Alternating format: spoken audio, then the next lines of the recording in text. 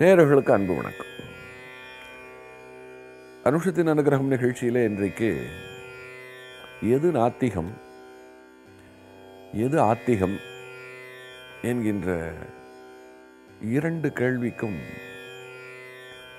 பெரியவர் சொல்லியிருக்கின்ற ஒரு விளக்கத்தை நாம் இன்றைக்கு பார்க்க போகிறோம். நாத்திகம் இல்லை நாத்திகம் என்றால் கடவுள் இல்லை. என்று சொல்லுகிற ஒரு நிரீஸ்வரவாதம் என்று இப்போது நாம் நினைத்து கொண்டிருக்கிறோம். அதாவது கடவுள் இல்லை. கடவுள் இல்லை என்று யாரெல்லாம் சொல்லுகிறார்களோ அப்படி சொல்லுகின்றவர்கள் நாத்திகர்கள். ஆனால் இது ரொம்ப தப்பு. அப்படி கிடையாது.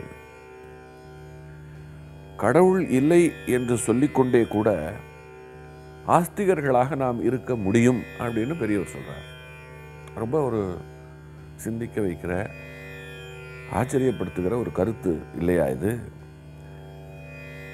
அது எப்படி இருக்க முடியும்? கடவுள் இல்லை என்று சொல்லிக்கொண்டு ஒருவன் எப்படி ஆஸ்திகனாக இருக்க முடியும் அப்படின்னு இப்போ நமக்குள்ள ஒரு கேள்வி வருகிறது. அதற்கும் அவர் பதில் சொல்கிறார் ஆஸ்திகம் அப்படின்னா உண்மையில் என்ன பொருள் தெரியுமா? வேதத்திலே நம்பிக்கை வைப்பது அப்படிங்கிறது தான் ஆஸ்திகம் அப்படிங்கிறதுக்கு. கடவுள் என்று சொல்லும் பொழுது நம்மை போலவே ஒரு வடிவம் கொடுத்து கிரீட குண்டலங்களை எல்லாம் அணிவித்து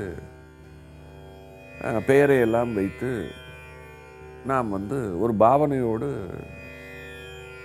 எண்ணத் தொடங்கி விடுகிறோம். நிச்சயமாக கடவுள் என்பவர் இப்படி இருக்க முடியாது.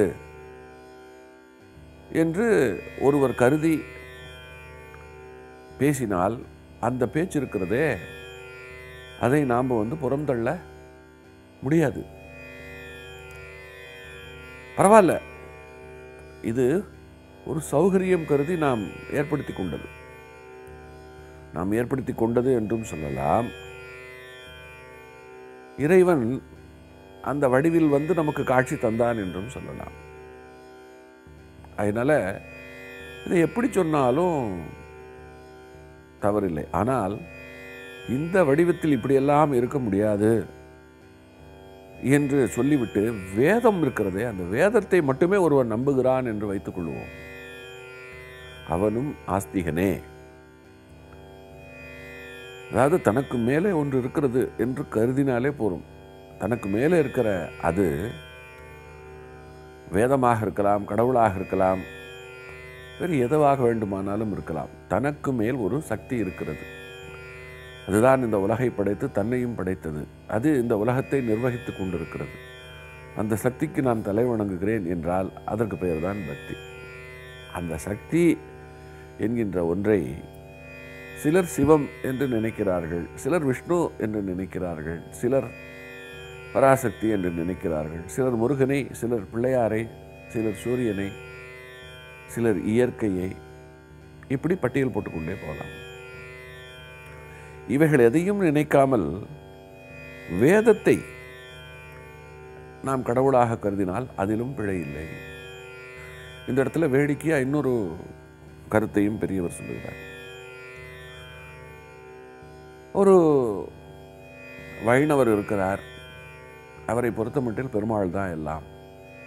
அவர் பார்வையில் மற்ற தெய்வங்களோ மற்ற மதம் சார்ந்த சிந்தனைகளோ ஒன்றுமில்லாதது. மற்ற மதத்து தெய்வங்கள் கூட ஒன்றுமில்லாதது. உதாரணத்திற்கு ஒரு இந்து மதத்தை சார்ந்தவன் முன்னாலே மற்ற மதத்தவர்கள் எல்லாம் கூட நாத்திகர்களைப் போலத்தான். ஏன்னால் அந்த தெய்வங்களை நாம் நினைத்து கூட பார்ப்பதில்லை. நம் வரையில் அந்த தெய்வங்கள் இல்லை. இல்லாத ஒன்றை வணங்குகின்றவர்கள் அஹ், நாத்திகர்கள் தானே. இல்லாத ஒன்றை சிந்திக்கின்ற அவர்களும் நாத்திகர்கள் போல் தானே. இன்னும் சொல்ல போனால் நாத்திகர்களை விட அவர்கள் மோசம். நாத்திகனாவது அஹ், நம்பிக்கையே இல்லாமல் இருக்கிறான். இவர்கள் பொய்யான ஒரு நம்பிக்கையோடு இருப்பதாக நாம் கருதுகிறோம். ஒரு ஆச்சரியம் என்ன என்று சொன்னால் இப்படித்தான் அவர்களும் நம்மை நினைக்கிறார்கள். இதெல்லாம் பல மதங்கள் பல வழிபாட்டு முறைகள் இருக்க போய் மனிதர்களுக்குள்ளே நேரிட்டு இருக்கிற சிக்கலான ஒரு விஷயம். ஒரு உரையில் இவைகளை எல்லாம் வெகு அழகாக தனக்கே உரிய பாணியிலே பெரியவர் அவர்கள் சொல்லிக்கொண்டே போகிறார். இந்த சிவனையோ விஷ்ணுவையோ பூஜை பண்ணுகிறவர்கள் கூட நாஸ்திகர்களுடனே சேர்ந்து விடுவார்கள். யாருக்கு? மற்ற பார்வை மற்ற போக்கு கொண்டவர்களுக்கு. இப்படி எது நாத்திகம் எது ஆத்திகம் என்கின்ற ஒரு கேள்வியை கேட்டு